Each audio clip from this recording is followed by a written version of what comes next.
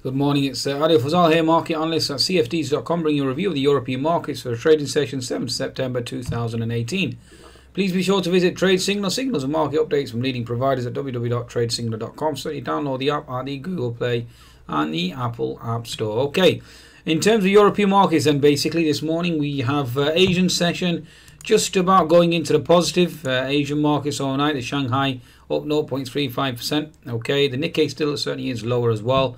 Uh, trade concerns certainly remain, but uh, the uh, the hour passes and Trump does nothing. So that certainly is interpreted as being positive. Okay, given the fact that he didn't exert that 200 additional 200 billion uh, in terms of tariffs in the Chinese markets. Okay. Uh, this morning we've had uh, in terms of trade balance exports down in Germany, imports certainly higher, so that certainly should bode well for the rest of the eurozone. So bear that in mind, and global economies as well. Current account uh, deficit actually lower. Okay, came expected at 20, came in at 15. Okay, so industrial production certainly weaker as well. We're waiting for the French data to hit the market shortly. Okay, let's see how the market reacts there.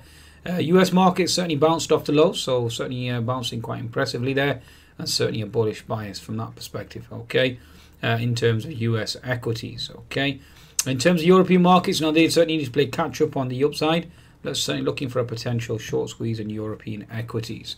Okay, so that's basically where, where the that's basically a status quo, and that's where we stand in terms of European indices. Now, again, like I said, we're making developments on Canada, we're making developments on uh, China as well, and given the fact that that uh, additional tariff certainly wasn't uh, obviously imposed, uh, again, that certainly is a, a bullish perspective, obviously catalyst from my perspective. Uh, emerging market concerns certainly are in the background. Let's see if the markets can certainly bounce off that. In terms of the technical picture, let's see exactly what's happening here. Now, the German DAX breaking through that all important uh, 12,000 level. I Was it really important? It was more of a psychological uh, level, uh, media friendly. Okay, uh, from my perspective, the German DAX has closed the gap at 11,960. Now, from this perspective, certainly looking for a potential a bounce, okay, on the uh, daily chart. 60 minute chart, yes, we're still remaining in lower lows, lower highs, uh, obviously uh, trend, and therefore bias, obviously from that perspective, is certainly bearish. But given the fact that the daily chart certainly takes precedent, precedent larger time frames always take precedent, certainly looking for a potential short squeeze there. Okay, so especially given the fact that US equities certainly are in the bullish mood at present. Okay, and you've got two got potential unfilled gap to be filled at 12 to 10. So watch out above any potential rally will face resistance at 12.020 first, and then obviously looking at 12.070 and 12090. Uh, in terms of the French CAC, again, it's at a critical juncture on the daily chart. As you can see here, horizontal support. Okay, so certainly looking for a potential bounce here on the daily chart, just based on that alone. 10 minute chart, yes, we are certainly uh, uh, in a bearish trend, but certainly looking for the uh, daily chart certainly to take precedence and looking for a potential short squeeze with the gap fill above at 5340 looking to potentially be closed.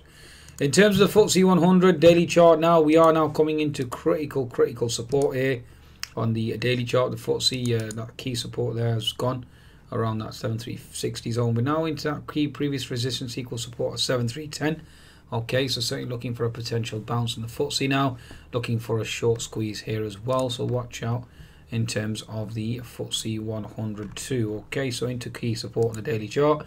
On the daily chart alone, given the fact that the German DAX is into support, CAC is into support, one would expect a short squeeze there. So watch out in terms of that. Okay, uh, 60 minute chart, you've got previous support equals resistance. Really, that's only the real uh, zone to watch for now. Uh, again, you got previous support equals resistance around the 7360 zone as well. Okay, so that's basically where we stand. Okay, so I think that's a good summation really of European indices. Again, Euro Stoxx as well on the daily chart. If I bring that up, give you an insight there as well. You're into that key support zone around this 3306 and 3295. Further support seen at 3280. So certainly looking for a pop, looking for a short squeeze in European indices. On that note, please be sure to visit cfds.com so you can take advantage of the bonus. And be sure to visit Trade Signal Signals market updates from leading providers. Goodbye.